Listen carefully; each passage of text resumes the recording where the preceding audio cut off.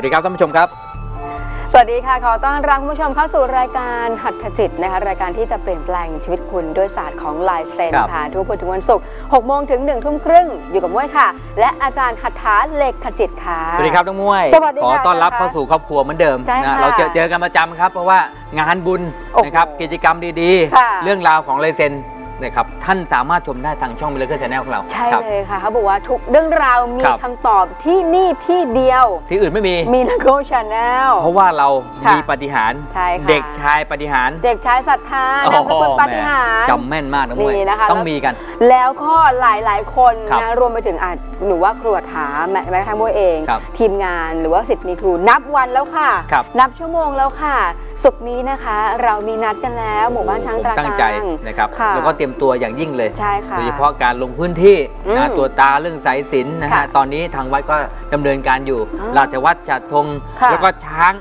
99 เชือก เอ้า ยิ่งใหญ่นะผมเกิดมาครั้งเนี้ยนะครับครั้งแรก ค่ะเพราะว่าเป็นการหล่อหลอมครูครูของผมนะครับ ต้องทุ่มกายถวายชีวิตเลยอืมทำไมต้องพูดอย่างนั้น เพราะว่าครูประกำช้างคค่ะรูขอช้าง เวลาไปสร้างโบสถ์สร้างพระต้องใช้องค์ท่านค่ะพระผู้บริหารจอมราชันครูพระพิราบนะฮะต้องใช้ครูโคชกุฎอืมแล้วก็ครูพระพิราบค่ะเลยต้องมีการหล่อหลอมเพื่อค่ะระลึกคุณงามความดีโอ้โหแล้วครูของผมเนี่ยครูถาจารย์เนี่ยค่ะก็จะได้สร้างโบสถ์ด้วยค่ะเพราะโบสถ์เนี่ยใช้มูลค่า 26 ล้านครับในโครงการของมูลนิธิค่ะไม่น้อยนะไม่น้อยค่ะนะครับไม่9ธรรม7ด9ล้านก็มี7ล้านก็มีไม่เท่ากัน ใช่ค่ะอืมแล้วแต่พื้นที่เขาทำอืมเรามีส่วนหน้าที่สนับสนุนและก็ดูแล ค่ะแล้วครั้งเนี้ยเป็นครั้งแรกที่เขาสร้างขึ้นมา ค่ะ ที่หมู่บ้านตากลางโอ้นะอำเภอท่าตูมจังหวัดสุรินทร์ นั่นแหละฮะแต่ว่าบางท่านเนี่ยอยากเห็นองค์แบบค่ะ ว่าหล่อแล้วจะเป็นไงวันนี้อ้าว เอามาให้ชมให้โอ้ยเห็นกันด้วยท่านผู้ชม บอกเลยค่ะอ่านี่เพิ่งแบบว่ามาถึงเลย สดๆเลย มาถึงมือครวดถาเลยครับแล้วก็ให้คุณผู้ชมเสร็จมีทุกคนได้ชมกันปกติเราจะเห็นเป็นภาพที่เป็นครับเหผมมือนอ่าเป็นนี่แหละหุ่ฮะนปั้น แต่นี่คือเมื่อสำต้องเร็จจับไว้นิดนึงแล้วตรงนี้นะฮะอ้าว ด้านเนี้ยอะเดี๋ยวผมให้ดูใกล้ๆนะครับขยับค่ะ เก้าอี้ก่อนนิดนึงครูประกำช้างนะครับอะกลับมาตรงนี้นะครับเดี๋ยวผมขยับให้ดูนะครับใกล้ๆ ด้านเนี้ยนะท่านผู้ชมเนี่ย เท่ากับองค์ครูพระพิราบ ค่ะผมเคยสร้างตอนที่ไหว้ครูใช่รอบเมื่อปีปี57ค่ะนะฮะงวยนี่มาดูกันนะองค์เนี้ยนะครับก็คือเป็นทองเหลืองทั้งหล่อ ค่ะ อันนี้เป็นองค์แบบนี้เลย อืม แล้วก็มีนะฮะไอ้ที่เป็นตรงเนี้ยนะฮะไม่ใช่เถาวันนะฮะแต่เป็นประกำครูประกำช้างนะฮะค่ะที่เป็นสายขดลวดตรงนี้นะครับ แต่อืมจริงๆอะเป็นประกำนะด้านหลังด้านหลังนะครับ อ๋อนี่ ขอช้างนะค่ะ ขอช้าง กำกับช้างค่ะนะช้างป่าอืมนั้นองค์ครัวถาจารย์จริงๆนะฮะในตำราเขาเขียนไว้ว่าเป็นพระโพธิสัตว์ที่ค่ะดูแลช้างอืม เลี้ยงช้างนะเพื่อให้พวกเราเนี่ยได้ดูแลช้างต่อค่ะ ฉะนั้นช้างป่าเวลาครูครูบาอาจารย์หรือครูบานะเขาจะเป็นที่วิชาพวกเนี้ยค่ะให้กับศิษยานุศิษย์อืมหรือคนที่ไปจับช้างนะครับ ค่ะ เราเองก็ก็มีความตระหนักถึงครูบาอาจารย์ที่ครั้งหนึ่งเคยสร้างพระหารจอมราชัน ครั้งหนึ่งเคยสร้างครูพิราบด้วย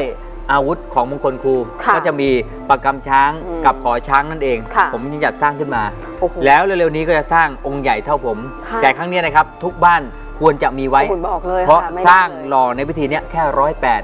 แต่ว่าใครอยากจะได้เนี่ยสั่งจองที่วัดเลย ค่ะ เงินทั้งหมดมอบให้วัดครับ โอ้ทุกบาททุกสตางค์ คือเราก็จะหล่อนะครับค่ะเงินที่ท่านได้บูชาที่วัดนะ อืมมอบให้หมดเลยไม่ได้หักค่าใช้จ่ายใดๆทั้งนั้นค่ะโอ้โหนะฮะวัดก็ไม่ต้องเสียค่าใช้จ่าย ค่ะ แต่อยากจะให้ครูเนี่ยมาสร้างโบสถ์สร้างวิหารกันเพราะว่าวัดเนี้ยอยู่ในพื้นที่นะถิ่นครูเลย ค่ะถิ่นช้างสุรินทร์อืมหมู่บ้านตากลางนะครับอำเภอท่าตูมเนี่ยก็มีสารประคำด้วย ค่ะ เป็นศูนย์โคชกุฎโอ้ยนะครับ เป็นศูนย์ช้างเนี่ยนะครับค่ะนะครับ คือแบบว่าเป็นประเพณีที่เขาบอกที่เนี่ยอืมอ่าอยู่มาอย่างดั้งเดิม ใช่แต่โบราณโบราณนะคะถ้าเกิดว่าใครได้มีโอกาสได้ค้นหาข้อมูลก็จะทราบอย่างครูหัตถาจาใช่ครรัย์บนะก็มีชื่อมีที่มาที่ไป นะหรือแม้กระทั่งครูประกำช้างเองก็ตามนะคะฉะนั้นวาระในครั้งเนี้ยเป็นวาระพิเศษจใช่คริรังบๆในการที่ได้อ่าร่วมกันในการบูชาองค์ครู ครูประกำช้าง หรือว่าครูหัตถาจารย์นะคะ ซึ่งเดี๋ยววันศุกร์นี้อะนะก็จะได้อ่าลงพื้นที่กันไปนะคะ เพื่อที่จะได้ไปหล่อค่ะหล่อองค์ครูประกำช้างนะคะ และที่สำคัญนะนอกจากที่จะได้ร่วมพิธีกับครูอัฐาแล้วครับครูบาช้างด้วยแล้วก็ ช้างเนี่ยโอ้99เชือกที่อยู่ในพิธี ไม่ธรรมดา ใช่ค่ะ คือเราเคยทำพิธี 9 เชือกก็เยอะแล้ว ค่ะแต่ครั้งเนี้ย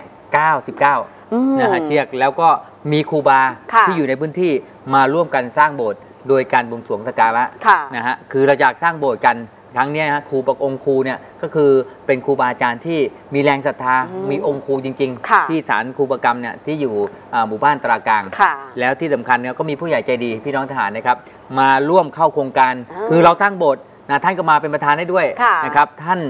นะมีท่านโฆษกคอสชท่านปินะคยรับพงศ์ท่านธีรพงศ์กินพันธ์ใช่ค่ะนะท่านเองก็ไปร่วมร่วมบุญกันรวมถึงนะฮะพันเสเอกสุโตสันต์อ่าสุพันเอกสุสันต์หนองบัวล่างด้วย นะครับท่านก็ไปนะฮะแล้วก็ใช่คค่ะณะทหารนะครับโอ้โหที่สกลนครก็เดินทางมา ค่ะคือผมว่าหลากหลายคนเนี่ยเวลาไปทำบุญก็จะเห็นนะนายอืมทหาร คือเดี๋ยวนี้ทหารก็ทำบุญกันเยอะมาก ใช่ค่ะเพราะอยู่ในโครงการเนี่ยสร้างโบสถ์กับมูลนิธิเนี่ยค่ะ13 หลังด้วยกัน รวมทั้งอืมพี่น้องประชาชน แล้วก็เยาวชนนะครับ หนูหนูๆน้องๆ แล้วก็ครอบครัว Miracle Channel ของเรา ค่ะไปเดินทางกันตลอด และค่ะครั้งนี้เป็นครั้งที่ครัวถาลงมือ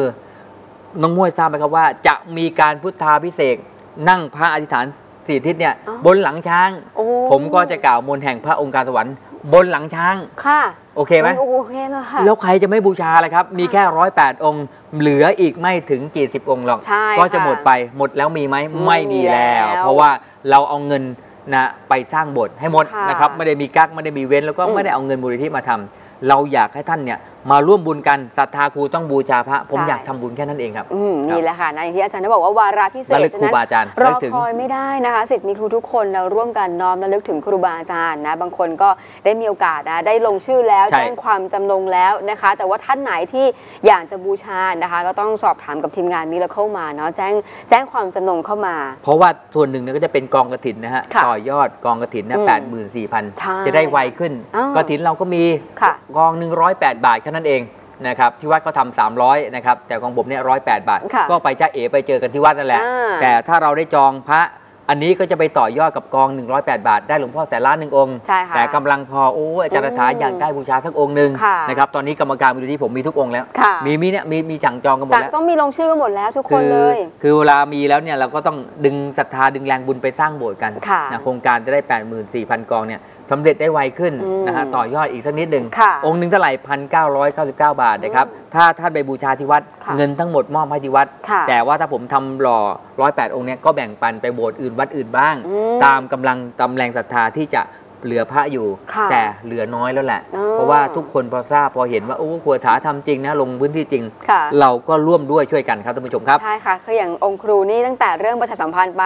ยังไม่มีการแบบว่าปั้นรูปขึ้นมาเลยนะ ครับทุกคนก็โทรเข้ามา ใช่แจ้งความจำนงกันเข้ามาแล้ว แล้วก็ณตอนนี้ที่เราได้เห็นกันเนี่ยคือล่าสุดเลยโอ้โหงาม นะคะที่เป็นเอ่อรูป งามไหมล่ะน้องมวยเห็นนะงามมาก เพิ่งมาวันนี้เองท่านผู้ชมครับ ใช่ค่ะแล้วถ้าแบบว่าถ้าได้เห็นใกล้ๆนะบอกเลยนะว่าละเอียดมากจริง ๆ วิจิตรมากแล้วก็ ในแววตาขององค์ครู เราจะมีรู้พสึลักงได้เลยว่ามีพลังมีประกายอะใช่เหมือนเวลาผมบวงสรวงเนี่ยตาจะคมมันตอนที่มองใบสีนะใบสีหลักใบสีตอหรือว่าค่ะแม้แต่อ่าราชวัตรจัดธงนะเหมือนกันเลยนะฮะค่ะแล้วถามว่าเอ๊ะมีดียังไงต้องใช้ดู ผมไม่ได้มาบอกบรรยายว่าไอ้สรรพคุณมากมาย เพียงแต่ว่าท่านศรัทธาผมหรือเปล่าบูชาครูก็แค่นั้นเองอืมแล้วครูถาถาอาจารย์ผมก็ไม่ได้เรียนแบบชื่อท่านชื่อเหมือนกันโดยบังเอิญใช่ค่ะเพราะว่าตั้งชื่ออัฏฐาเลกจิตเนี่ยแล้วศรัทธาขอช้างมาก่อน ได้ประกำช้างที่ประเทศลาวอืมแล้วก็เอามารวมมาผนวกมาผสมผสานค่ะนะฮะด้วยบารมีครูนะฮะศรัทธาเนี้ยก็เลยสร้างบุญบารมีต่อยอดโบสถ์มาทุกวันนี้สร้างพระพุทธฐานจอมราชัน สร้างโบสถ์สร้างพระประธานใหญ่ๆเนี่ยแหละฮะเพราะประคำครูสำคัญ ใช่เลยครูนะ ประกำช้างครูถาจารย์นั่นแหละครับ นะเอามาร่วมบุญกันเนาะฮะแล้วก็ใครที่จะเดินทางไปเจอกันนะคะที่วัดแจ้งสว่าง อ่าวันศุกร์นี้นะคะ ก็พิธีเริ่มตั้งแต่9โมงเช้านะคะ แล้วก็จะมีการหล่อเททองนะประมาณช่วงบ่ายโมงเป็นต้นไปคือพรุ่งนี้เที่ยงๆเนี่ยก็มาเจอเจอผมได้บ้างแหละค่ะนะฮะนะนะคะฮะลงพื้นที่แล้วแหละ ได้ครับนะฮะแล้วก็จะเดินทางมาเพราะเหลืออีกวันเดียวค่ะนะครับลงพื้นที่แล้วนะครับก็ท่านเจอผมอ่าวันศุกร์อีกวันหนึ่งค่ะแต่ว่าวันศุกร์นั้นนะฮะในช่วงที่ทำพิธีท่านจะเห็นพิธีเข้มข้นเลย โอ้โหเพราะแรงศรัทธาเยอะนะฮะแต่ละคนแต่ บางคนไกลๆก็อยากไปกัน ค่ะอยากสร้างแรงศรัทธากัน อืมไปกันให้ครบไปกันให้ทั่วนะครับสิทธิ์มีครู แต่ถ้าไปไม่ได้จริง ค่ะ ก็บอกกล่าวกัน เพราะว่าอย่าลืมน้องม้วยนะครับปีนี้ค่ะ ไหว้ครูไปลาบวันที่อะไร วันที่ 9 ตุลาคมค่ะ 9 ตุลานี่อะปีนี้นะฮะ จัดหนักดูแลเต็มใช่มีเหรียญเลยครูประคำด้วยนะฮะ ค่ะเหรียญครูประคำนะด้านหน้าเป็นครูพิราบด้านหลังครูประคำช้าง โอ้โเห็นไหมล่ะ นี่ฮะงามวิจิตรมากครับค่ะอันเนี้ยฝากด้วยละกันนะอ่าสำหรับใครที่อยากจะลงไว้ในในสมุดของตัวเองครับปฏิทินครูนี่แหละเดินทางสายบุญร่วมกันวันที่ 9 ตุลาคมนะคะ เรามีนัดกันนะคะอืมสำหรับพิธีไหว้บรมครูพิพิราบครบรอบ 3 ปี ในการหล่อเสียนบรมครูพิพิราบแล้วก็ต้องบอกว่าหลายคนที่เป็นศิษย์มีครูครับกราบไหว้นะบูชาครูบาอาจารย์ ปีนี้รอบปีนี้นะถือว่าครบรอบนะมาเจอใช่มาเจอมารวมกันนะคะที่มิลเคิลแห่งนี้กันตนาบางใหญ่นี่แหละ นะพื้นที่ก็ต้องขออนุญาตนะคะ เราจำกัดจริงใช่ ๆนะคะแต่ว่ารับรองค่ะว่าทุกท่านที่ได้มาพิธีในวันนั้นเนี่ยนะคะพิธีเข้มขลังและลึกถึงครูบาอาจารย์ แล้วก็สิ่งหนึ่งเลยว่าเหนือสิ่งอื่นใดนะเราประสบความสำเร็จนะเราได้มีโชคมีลาบกัน หรือว่าเจริญหน้าที่ในการงานเนี่ยกลับมาหาครูบาอาจารย์ร่วมกันด้วย แล้วที่สำคัญอีกอันหนึ่งประการหนึ่งไม่กล่าวเลยก็ไม่ได้แล้ว ค่ะเพราะว่าท่านจะได้รับหลวงพ่อแสนล้าน อืมเป็นพระประจำพระนามประจำอุโบสถ ซึ่งผมเองเนี่ยผมก็เข้าพิธีตั้งแต่พระศิวลีแล้วค่ะพระศิวลีขึ้นบวงสรวงทางการละต่างๆ เป็นการใช้ฝีไม้ลายมือของช่างผู้ชำนาญการเนี่ยอืมนะโดยเฉพาะเป็นแบบรูปลักษณ์นะฮะที่อ่าใช้ลักษณะเป็นคล้ายๆ พระหน้าคปกค่ะแต่จริงๆ พระนามท่านคือหลวงพ่อแสนล้านอืมด้านบนจะเป็นหน้าคปกค่ะแล้วท่านผู้ชมนะฮะใช่ไหมครับว่าก็จะได้รับ คนละอย่างคนละสิ่ง อ่า เป็นอ่ามีหยกดำ หยกดำมีแก้วปงคาครับแล้วก็ไม้กลายเป็นหิน อ่าไม้กลายเป็นหินคือแต่ไม่ไม่ได้หมดสามองค์นี้นะคะ คือแต่ละองค์อาจจะโอ้โหแต่ละสามคนเนี่ยอาจจะได้แบบมูลค่าพระน้องมวยแค่น้องเมื่อยน้องม่วยไม่ใช่น้องมวยอะไรฮะค่ะ แค่เห็นแล้วก็รู้ว่าโอ้โหนะฮะคุ้มค่านะ ใช่ค่ะ ไม่ได้อยากได้อะไรทั้งนั้นบอกว่าอ่า เออมาในเมื่อท่านสร้างโบสถ์แล้วผมขอสมนาคุณตอบแทนบุญคุณที่ท่านได้อุปถัมภ์คำชูโบสถ์กัน ปีหนึ่งมีหนหนึ่งค่ะเราจัดกิจกรรมเพื่อระลึกถึงครูบาอาจารย์ เพราะทำมาเป็นกิจกรรมเป็นประเพณีทุกปีค่ะไม่ได้มาเร่งรัดต้องมาทำบุญมาสร้างโบสถ์ต่อไม่ใช่อืมคือท่านก็ได้ทรัพย์ตรงนี้นะฮะบุญตรงเนี้ยการยกครูต่างๆร่วมไปสร้างโบสถ์ด้วยกันค่ะเพราะมันอยู่ในวาระก่อนจะสิ้นออกคำพรรษาเอาโบสถ์หลายที่นี่สิบสามหลัง เดี๋ยวเราก็อจะไปเอ่อบ้านแพะใต้อีกใช่ที่วัดนะพครัระใต้วัดที่พระใต้ลำปางนะนะคะโบสถ์วิหารเขาก็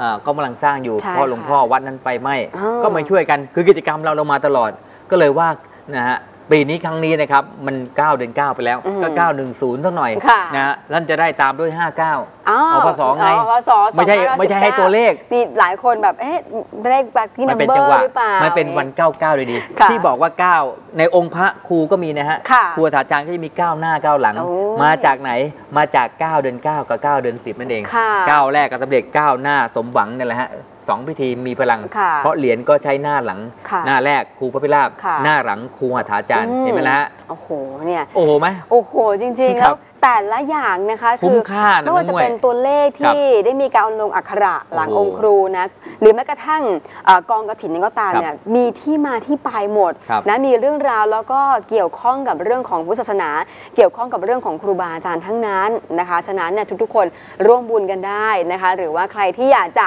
มาเจอมาเจอกันกับพิธีนะครบรอบ 3 ปีนะของบรมครูพิพิราบเนี่ยต้องโทรมาลงทะเบียนกันแจ้งชื่อแจ้งนามสกุลและอย่าลืม รักษาสิทธิ์ของตัวเองด้วยนะคะ เบอร์โทรศัพท์2หมายเลขตรงนี้เด็ดด้านหน้าขออนุญาตนะคะให้โทรเข้ามาสอบถามเฉพาะนะการร่วมกันบูชาองค์ครูครับนะหรือว่าลงทะเบียนในกิจกรรมต่างๆนะคะ แล้วก็รวมไปถึงร่วมกันเป็นเจ้าภาพกองกระถิน สอบถามมาเลยกับทีมงานได้เลยครับแต่ถ้าเกิดใช่มีถูกต้องเรื่องราวแบบว่าในชีวิต อยากจะส่งเรื่องราวเข้ามาให้ครูได้เอ่อวิเคราะห์การออกแบบลายเซ็นการพูดคุยกันก็ขออนุญาตส่งเป็น SMS ค่ะ พิมพ์ HJ ชื่อนามสกุลข้อความและจังหวัด ครับส่งมาที่ ให้ชัดเจน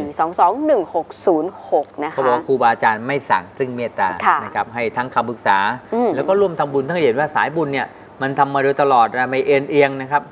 ตั้งแต่น้ำท่วมไงคือถ้าน้ำไม่ท่วมก็ยังไม่ทะก็ได้ทำน้อย ค่ะแต่น้ำท่วมนะครับฟื้นคืนชีวิตโครงการต่างๆนะครับ ผมว่านะตอนนี้นะก็เป็นที่ฮือฮาแล้วว่าอืมโครงการพวกนี้ไม่ได้ทิ้งไปไหนแต่ว่าโอ้โหโบสถ์เนี่ยนะก็ต้องค่ะทอ่าำนะพอทำเสร็จปุ๊บบ้างเว้นค่ะถักออกพรรษาเอาอีกแล้วโครงการฟื้นชีวิตไม่ได้หนีหายไปไหนเลยยังอยู่แต่ถามว่าเราทำให้หมดไงค่ะเงินทุกบาทนี้ไม่ได้ไม่เหลือในบัญชีนะท่านผู้ชม แล้วก็มีหลักฐานการเบิกจ่ายค่ะมิลเคิลตรวจสอบนะฮะค่ะมูลนิธิจัดการผมก็อืมเป็นประธานมูลนิธิลงจัดการลงพื้นที่เอง น้องม่วยค่ะ ที่ไม่ยอมเมื่อยนะฮะเราก็จะลงพื้นที่การช่วยเหลือกันเนี่ยคือสุขใจแล้วพอแล้ว ค่ะชีวิตนี้อย่าไปหวังว่าพรุ่งนี้จะได้ทำบางที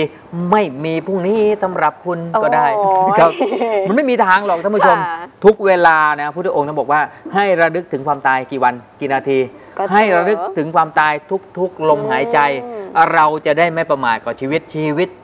รวยติดปีกด้วยด้วยบุญ บุญเนี่ยถ้าทำแสนนะฮะได้กำไรล้านทวีคูณ อืมแต่ถ้าเราไม่ทำบุญนะฮะมันก็ติดลบเรื่อยไปค่ะ นะครับ อย่าเอาหาเงินเพื่อรักษาสุขภาพตัวเอง อืม ไม่มีทางหรอกครับว่า เวลาป่วยเจ็บแล้วสุดท้ายแล้วก็เอาเงินรักษาตัวเอง แต่ขณะนั้นไม่ได้ทำบุญเลย ใช่ บุญนั้นนะจะที่ทางให้ท่านมีความสว่าง อืม มีความสำเร็จอะบ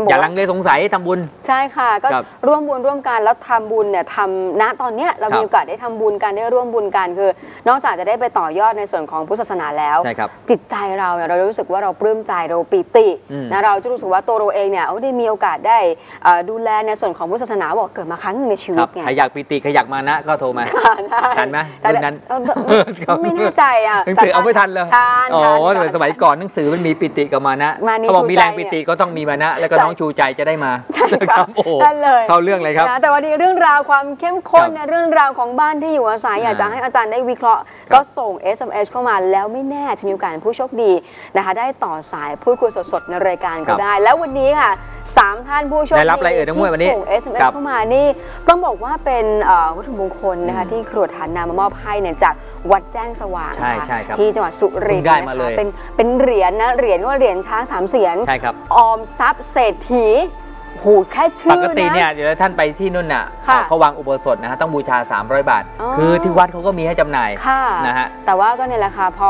สุดท้ายก็แต่วันเนี้ยเอาไปร่นะวมบุญกันแต่อันนี้ วันนี้ผมขอหลวงพ่อมาเลยค่ะนะบอกเป็นตัวอย่างเนี่ยท่านผู้ชมไปบูชาที่วัดเอาใช่วันนี้แจกให้แฟนรายการ แล้วก็สามจะได้ต่อยอดบอกบุญกันต่อออ่ากี่ท่านนะสามท่านเท่านั้นด้วยค่ะกันครับ มีจำกัดจริง ๆ มีเพียงแค่นี้แหละค่ะ ส่ง SMS เข้ามาร่วมลุ้นกันเดี๋ยวท้ายๆรายการ จะได้ประกาศรายชื่อผู้โชคดี ตอนนี้พักกันสักครู่ค่ะครับผม